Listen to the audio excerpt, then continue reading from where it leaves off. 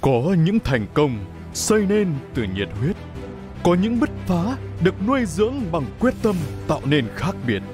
Có những dấu ấn định hình bằng tinh thần trách nhiệm. Có những kiệt tác tạo nên bởi khát khao chinh phục những giới hạn. Thế kỷ 21 cùng với sự phát triển của nền kinh tế và yêu cầu ngày càng cao về vận tải hàng hóa, Vimit với sứ mệnh cung cấp giải pháp vận tải toàn diện nhằm thỏa mãn nhu cầu cao nhất của khách hàng và nâng tầm giá trị ngành vận tải hàng hóa Việt Nam.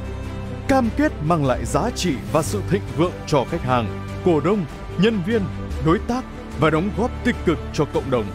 Tầm nhìn không ngừng đổi mới công nghệ, kiến tạo hệ sinh thái nhằm phát triển sản phẩm dịch vụ đem đến sự thành công cho khách hàng. Giai đoạn 2021-2025, top 1 thị phần xe tải hạng trung, hạng nặng tại Việt Nam. Top 3 thị phần xe tải Việt Nam.